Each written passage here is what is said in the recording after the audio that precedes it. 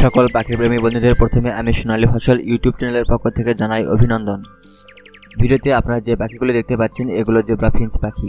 আজকের প্রতিবেদনের টপিক হলো ফিন্স পাখি পালনের সুবিধা, অসুবিধা। যারা নতুন করে ফিন্স পাখি পালন করবেন বলে ভাবছেন, তাদের জন্য এই ভিডিওটি আজকে গুরুত্বপূর্ণ হতে চলেছে। ভিউয়ার্স, আপনারা দেখতে পাচ্ছেন, আমি ফিন্স পাখিদের খাঁচায় রেখেছি। ফিন্স পাখি পালনের প্রথম সুবিধা হলো এদের আপনি যে কোনো মাপের খাঁচায় রেখে লালন পালন করে ডিম বাচ্চা নিতে পারবেন। আমার এখানে আঠারো বাই বারো ইঞ্চি, আবার বারো বাই দশ ইঞ্চি মাপের খাঁচা রয়েছে।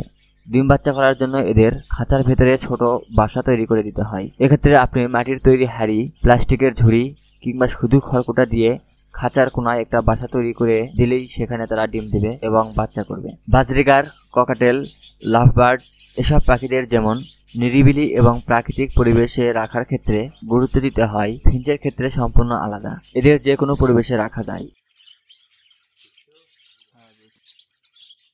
ফিঞ্চ পাখি রোগ প্রতিরোধের ক্ষমতা বেশি, তাই এদের রোগ বালাই কম। এই পাখিগুলো চার মাস বয়স থেকেই ডিম দিয়ে থাকে, কিন্তু এরা সারাদিনে সামান্য পরিমাণে খাবার খেয়ে থাকে।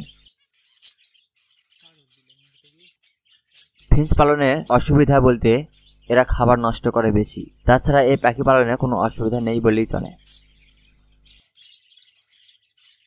ভিউয়ার্স, ভিডিওটি বেশি বড় করব না।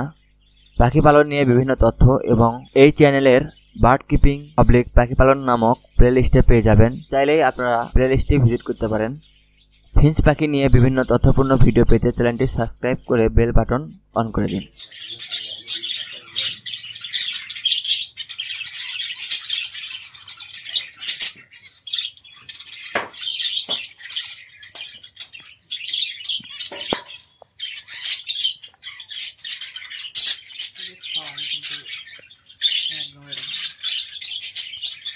জমা না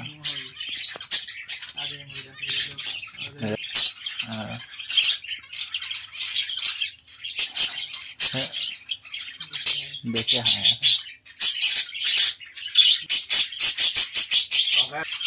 হ্যাঁ বুঝছি